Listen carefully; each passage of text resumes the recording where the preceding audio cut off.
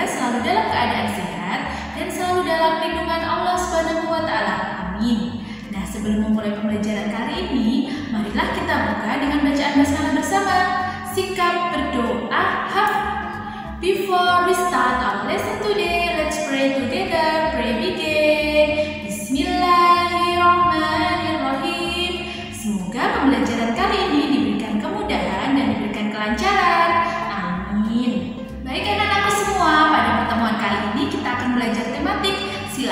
anak-anak siapkan alat tulisnya dan buku tematiknya ya. Kita masih memasuki yaitu tema 4, sehat itu penting. Dan anak-anak silahkan buka subtema 3 halaman 93 ya. Oke, oke anak-anak semua. Nah, sebelum memulai pembelajaran, Bunda akan cek semangat anak-anak Bunda dulu. Nah, Bunda memiliki tepung fokus. Silahkan nanti anak-anak tirukan tepung Bunda ya. Oke, sudah siap? Nah, tepung fokus. Bila sedang belajar, maka aku harus fokus. Nah, anak-anak sudah semangat. Nah, silahkan anak-anak simak penjelasan yang berikut ini. Hari ini kita akan belajar interaksi manusia dengan lingkungan. Nah, apa saja yang akan kita bahas pada pertemuan hari ini? Subtema yang akan kita bahas pada pertemuan hari ini adalah interaksi sosial di berbagai bidang dan interaksi sosial antar daerah. Proses interaksi tidak dapat dilepaskan dari kehidupan sehari-hari. Proses interaksi ini dapat terjadi apabila ada dua orang atau lebih. Interaksi ini dapat terjadi karena adanya kepentingan pemenuhan kebutuhan masyarakat di berbagai bidang. Kita mulai bahas dari interaksi sosial di berbagai bidang. Yang akan kita bahas adalah yang pertama, bidang ekonomi. Dua, bidang politik tiga bidang sosial budaya, dan empat bidang moral. Bidang ekonomi Kepentingan ekonomi adalah kepentingan seseorang yang bergantung satu sama lain. Interaksi dalam ekonomi dapat kita jumpai di pasar atau tempat perbelanjaan. Kepentingan ekonomi dibagi menjadi dua.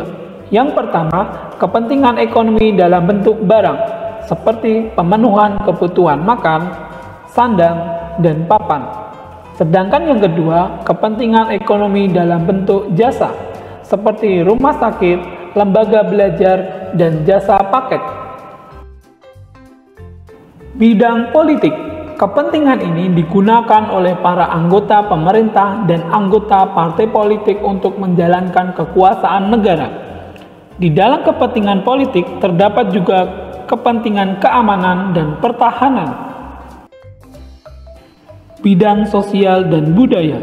Dalam kepentingan sosial, seseorang selalu ingin mendapatkan tempat atau kedudukan dalam masyarakat. Sementara itu, kepentingan dalam bidang budaya terkait dengan pola-pola perilaku, bahasa, organisasi sosial, religi, dan seni yang telah menjadi kebiasaan turun-temurun dari leluhur bidang moral, kepentingan yang terangkat dari keprihatinan akan rendahnya situasi moralitas masyarakat di wilayah tertentu. Contohnya seperti siar agama, pelatihan keterampilan masyarakat, dan pembinaan masyarakat oleh pemerintah. Interaksi dalam berbagai bidang tersebut secara otomatis akan mempengaruhi pembangunan di bidang-bidang yang bersangkutan, baik ekonomi, politik, sosial budaya maupun moral. Tentu saja diharapkan interaksi tersebut dapat membawa pembangunan yang bersifat kemajuan daripada kemunduran. Selanjutnya yang akan kita bahas adalah interaksi sosial antar daerah. Interaksi antar warga masyarakat terjadi karena beberapa faktor seperti berikut. Yang pertama, perbedaan kandungan sumber daya alam setiap daerah perbedaan demografis, kurang lancarnya mobilitas barang dan jasa, alokasi dana pembangunan antar daerah, konsentrasi kegiatan ekonomi daerah. Perbedaan kandungan sumber daya alam setiap daerah. Perbedaan kandungan sumber daya alam akan mempengaruhi kegiatan produksi pada daerah bersangkutan. Kandungan sumber daya alam yang cukup tinggi akan dapat memproduksi barang-barang tertentu dengan biaya relatif murah. Sedangkan untuk sumber daya alam yang lebih kecil hanya akan dapat memproduksi barang-barang dengan biaya produksi lebih tinggi. Perbedaan demografis adalah perbedaan tingkat pertumbuhan dan struktur kependudukan, perbedaan tingkat pendidikan dan kesehatan perbedaan kondisi ketenaga kerjaan, dan perbedaan dalam tingkah laku dan kebiasaan, serta etos kerja yang dimiliki masyarakat daerah bersangkutan. Daerah dengan kondisi demografis yang baik akan cenderung memiliki produktivitas kerja yang lebih tinggi. Kurang lancarnya mobilitas barang dan jasa Kurang lancarnya mobilitas barang dan jasa dapat pula mendorong terjadinya peningkatan ketimpangan pembangunan antar wilayah. Mobilitas barang dan jasa ini meliputi kegiatan perdagangan antar daerah. Konsentrasi kegiatan ekonomi daerah Konsentrasi kegiatan ekonomi yang cukup tinggi pada suatu daerah jelas akan mempengaruhi ketimpangan pembangunan antar wilayah. Dan yang terakhir adalah alokasi dana pemerintah antar daerah. Artinya, alokasi investasi pemerintah ke daerah ditentukan oleh sistem pemerintahan tersebut.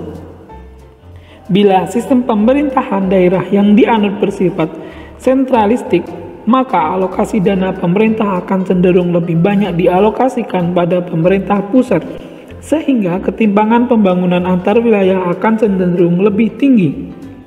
Sebaliknya, jika sistem pemerintahan yang dianut adalah otonomi atau federal, maka dana pemerintah akan lebih banyak dialokasikan ke daerah, sehingga ketimpangan pendapatan akan cenderung lebih rendah.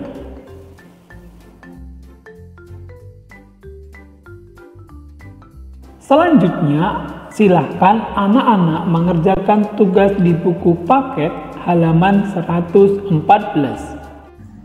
Bagaimana